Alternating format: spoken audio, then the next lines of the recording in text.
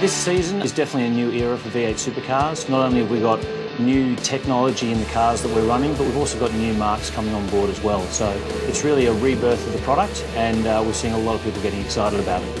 The situation was, was right for a solution that was going to work very differently to how we had been working previously. Office 365 provides us with the platform to keep the connectivity with our people no matter where they are. It's a new beginning, if you like, for, for V8s. This is the hub of what we what we do during a race meeting. A lot of the younger blokes coming through into the category now, as in engineers, are very technology savvy and um, they want to bring all that stuff in. So every year we come out, there's more and more computers. So it's a pretty important aspect to keep on top of because uh, I guess it's the difference between um, you know results and not having results. So we need to be able to provide them with technology that makes it easy for them to focus their attention on, on that entertainment factor.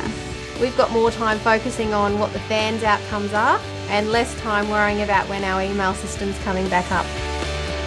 One of the really exciting developments we're looking forward to using in Office 365 is the video conferencing.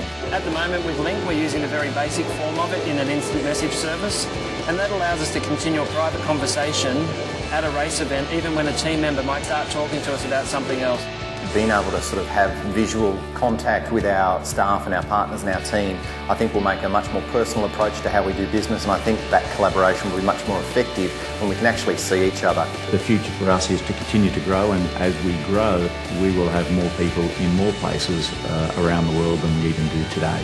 How we get linked into the picture, I'm actually excited about those opportunities whether it's Office 365 or, or the next version thereof, um, it's proving to be a, a, great platform not just to underwrite the business as we see it this year, but, but also as we see it growing.